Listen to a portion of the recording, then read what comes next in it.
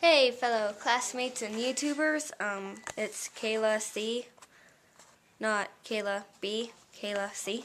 Um, my project is isobutane propane, and that is my element, and I am here to talk about it. Uh, well, for starters, my element, uh, isobutane propane, is found in uh, hairspray uh, spray paint, refrigerators, which is pretty odd, and does shaving cream have anything? And shaving cream, and etc. It is very flammable, and it's used to keep things cool or to set things on fire.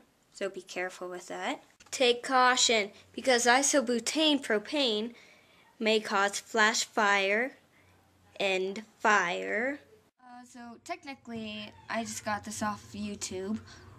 I was going to light propane on fire, but then I don't have time, so instead, I actually got a video of an accident caused by propane and fire.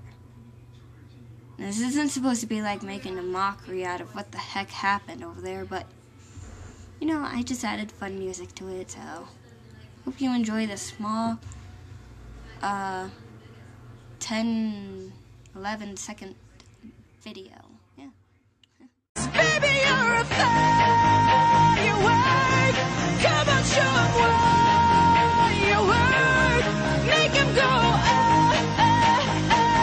So here's the moral, moral people. Don't light propane on fire. Be careful. My element is apparently used as a refriger a refrigerant, a refrigerant, whatever that word is, and it's actually extremely cold.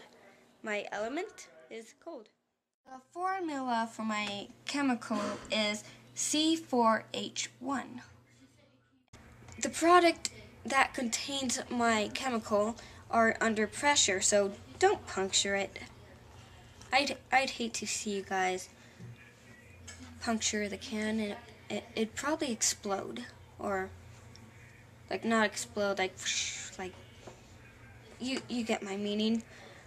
It is hazardous to children, and just keep it away from small children who don't know any better and spray it everywhere and then light matches and then it's gonna catch on fire. When you're when you're using hairspray or shaving cream, don't spray it near the eye.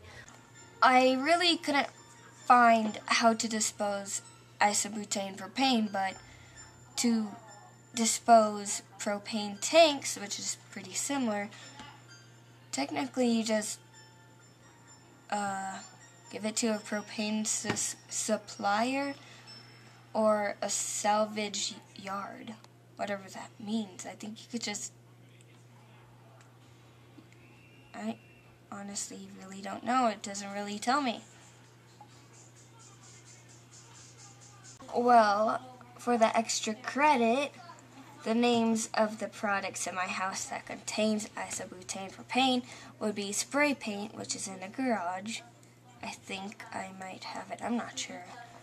I might have it um, hairspray, which you guys saw earlier, shaving cream, and I obviously have a refrigerator downstairs.